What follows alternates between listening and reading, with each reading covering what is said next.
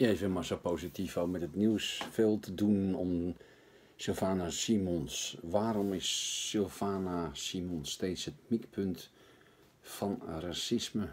Ze werkt als een rode lap op een stier, wordt er uh, gesuggereerd. Hoe erg is het, het ook is dat Sylvana zoveel racisme en woede oproept. Het verbaast sociologen niet. Racisme is de afgelopen jaren verdubbeld en in alle lagen van de samenleving zichtbaar en voelbaar. Sylvana werkt als een rode lap op een stier en wakkert racistische gevoelens aan. Zo ook bij Sylvana Hater Donny van 23. Hij vindt de foto's waarin de denkpolitica aan een boom is opgehangen wel, weliswaar smakeloos en walgelijk, maar de rest niet. Sylvana kan mij niet hard genoeg aangepakt worden. Ja, zoals eerder eh, bericht heb gegeven, ik zelf Marcel Positief aandachtsgeil. Nou, daar ben ik het helemaal mee eens. Aandachtsgeil. Donnie bedacht onder meer de Facebook uitzwaaipagina tegen Sylvana vanwege haar kritiek, kritiek sorry, op Zwarte Piet. Zij moet ook wegwezen, is de gedachte achter die pagina. Donnie vindt de politieke aandachtsgeil en haar partij denk, denk achterlijk. Waar komt toch die hekel aan die politica vandaan? Ze schopt continu tegen de Nederlandse tradities aan. Tradities waar ik en heel veel mensen trots op zijn en ik ook. Zoveel zoals Zwarte Piet, die nu zogenaamd racistisch is, terwijl heel veel mensen dat niet zo voelen. Ze noemt blanke mensen racistisch en wil een nieuwe, nieuw Nederland. Een Nederland dat ik helemaal niet wil. Ze maakt me woedend iedere keer weer. En dan ben ik echt niet de enige, denk ik, die er zo over denkt.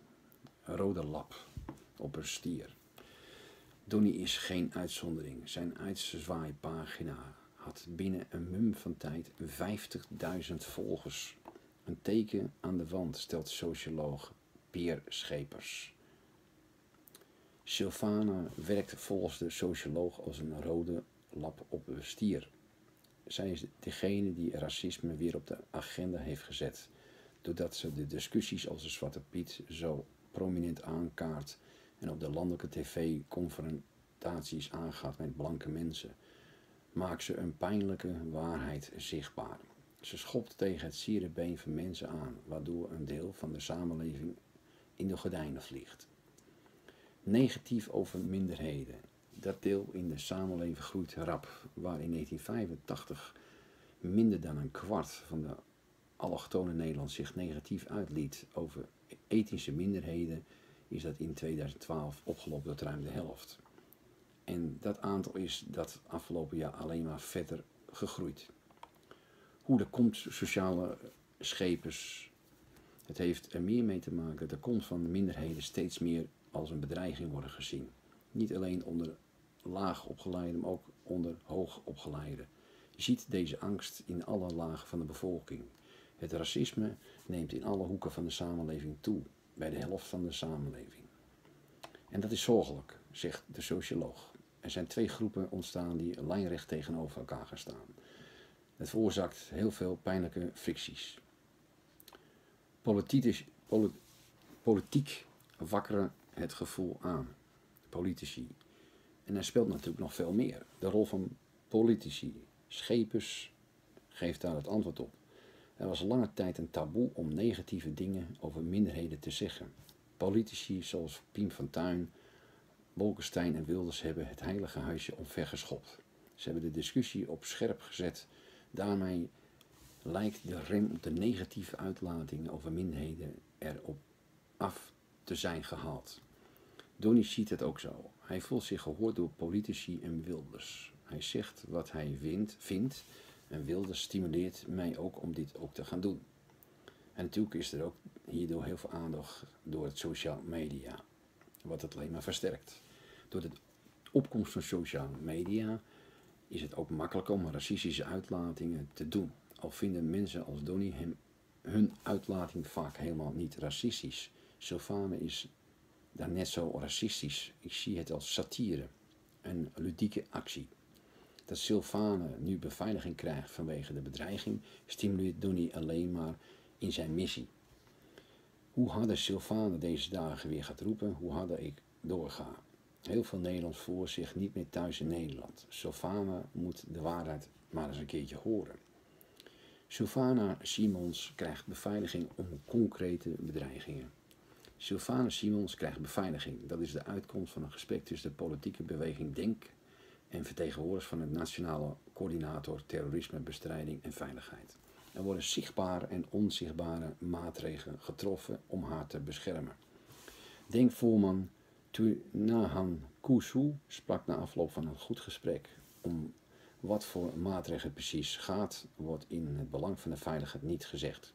Kuzu kondigde gisteren aan dat de beweging in het gesprek concrete veiligheidsmaatregelen voor Simons heeft geregeld en geen eisen. Ik ben niet blij om hier vanavond te staan, is de, een eh, interview wat er eerder in mijn filmpje naar voren is gebracht. Ik sta hier omdat wij ons ernstig zorgen maken over de Sylvane Simons, al dus Kuzu, na afloop. Ze moet kunnen zeggen waar zij voor staat en dat staat op dit moment eh, onder druk. Directe aanleiding en dus tot slot eh, voor het gesprek was een filmpje dat op social media circuleert. Daarin zijn gemonteerde foto's te zien van Simons. Haar hoofd is onder meer geplakt in een oude foto van de Ku Klux Klan waarin ze zogenaamd is opgehangen. Volgens Kuzu zijn er concrete bedreigingen binnengekomen. Je hebt maar één persoon nodig die de daad bij de woord voegt, al dus Kuzu. De denkvoerman herhaalde verder dat hij verder vindt dat premier Mark Rutte zich moet uitspreken. Hij zal het land moeten laten zien dat het echt niet meer kan. Nou, daar ben ik natuurlijk helemaal mee eens. Satire uh, en uh, vrijheid van meningsuiting uiting en uh, op een ludieke wijze een aantal dingen naar voren brengen. Of je nou voor of tegenstander bent van Sylvana Simons, is er op zich niks mis mee. Maar dreigementen zijn natuurlijk uit den boze, walgelijk, onacceptabel en uh, moet en druk direct door openbare ministerie de kop worden ingedrukt. Maar zo positief al. Tot de volgende keer.